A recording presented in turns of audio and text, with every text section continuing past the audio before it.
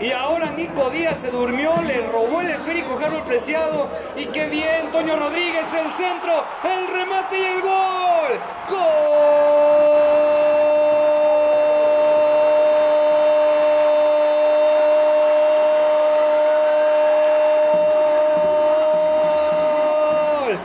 Del Santos Laguna.